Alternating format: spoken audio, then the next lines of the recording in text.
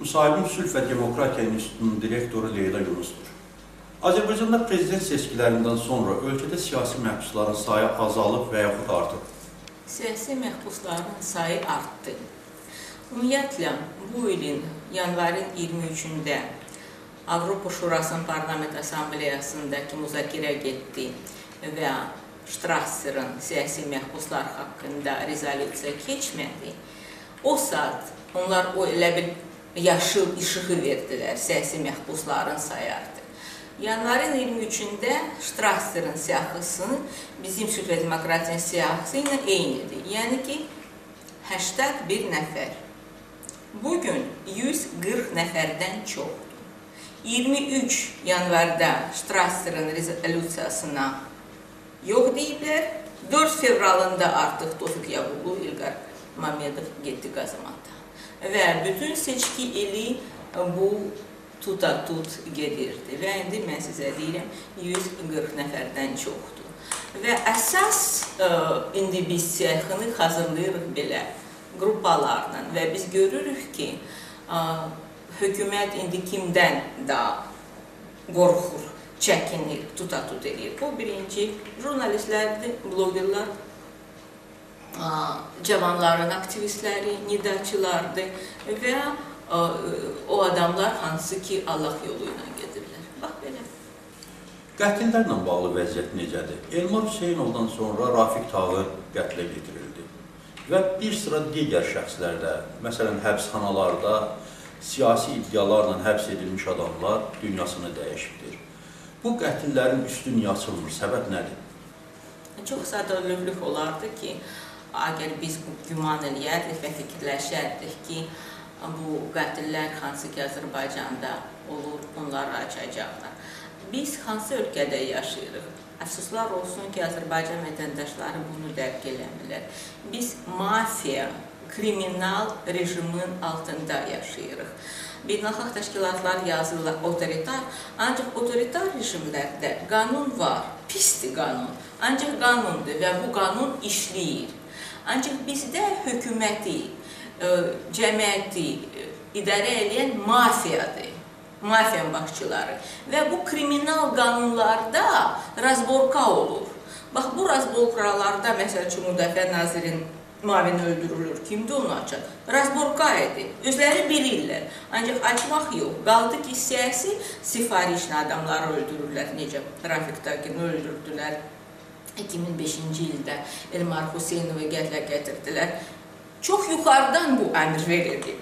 Bunu hamı başa düşür və əlbəttə bu açılmayacaq. Qazamatda Novruz Ali Mamedov Fayna Qungurova.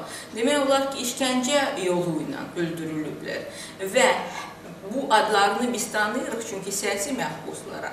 Ancaq hər il ona yaxın adam qazamatda işgəncənin nəticəsində ölür. Heç bilmirik adlarını da. Mən bir misal gətirim. 2007-ci ildə 30 yaşında Ali Savadlı biznesmen Onu tutublar, bir aydan sonra doyurmalı idi. Said Dadaşvili işlə əlaqədar. Onu döyüblər və hamıya 10 nəfəri tutublar. Göstəriblər ki, səni də bu cür öldürəcək, əgər sən deməyəcəksən ki, mən hə, şpionam, terroristam və s. Döyüblər, qətlə gətiriblər. Sonra məhkəmədə vəkil deyir ki, bəs bu adam tutulub, nə qazamatda var, nə məhkəməyə gəlib. Bu adam necə olub? Mamedov familiyası idi. Heç cavab da verməyiblər. Yəni ki, biz o ölkədə yaşayırıq. Bunu mən istəyirəm ki, Azərbaycan vətəndaşları dərk edəsinlər. Yoxsa mənim yanıma gəlirlər, deyirlər, papamı tutublar, ya oğlunu tutublar. Mən heç bilmirdim ki, belə şey ola bilər. Heç nədən tutublar, indi öldürürlər qazamatda. Başa düşmürlər, hansı ölkədə yaşayırlar. Azərbaycanda siyasi məqsədlərlə, yəni hüquq müdafiəçilərinin dediyi kimi, siyasi məhbusların sayı azalmır. Bir yandan həbsdən buraxırlar, beynəlxalq təşkilatlar hökuməti alqışlayır, digər tərəfdən isə yeni hüquq müdafiəçilərinin dediyi kimi siyasi məhbuslar yaranır. Hökumətin məqsədi, iqtidarın məqsədi bu siyasətdə nədir? Azərbaycan iqtidarı xüsusən seçki ildə siyasi məhbusların, vicdan məhbusların siyahını artmaq, bu siyasi alverə getmək. Yəni ki, siz fikir verin, 2003-cü il və 2013-cü ili müqayisə gətirək. O vaxtı tutatut elə gedirdi 120-130 nəfər siyasi məhbus var idi bizim siyahıda. İndi 140-dır, ondan da çox. Və a, o vaxtı da bu seçki ilə, prezident seçkiləri ilə əlaqədar necə indi hamı beynəlxalq təşkilatlarda açıq baxışa düşürdü ki, çoxlu saxtalaşma var və ümumiyyətlə demokratik azad seçki olmayıb. Ancaq sonra bu məhkəmələr başlayanda artıq seçkilər yaddan çıxdı. Bütün Azərbaycan insan hüquqları təşkilatları, qeyri-hökumət təşkilatlar, beynəlxalq təşkilatları Avropa Şurasına, Qozdepa müraciət edirdilər ki, vətəndaşları işgəncə ilə öldürürlər qazamatlarda. Qanunsuz tutatut gedir, məhkəmələr qanunsuz 5-10 ilə vətəndaşları göndərir qazamata. Tələb eləyən ki, buraxsınlar. Və ha vaxt, bir də deyirəm, 120 nəfərdən çox, ha vaxt 5 nəfəri buraxırdılar, hamı alqışlayırdı.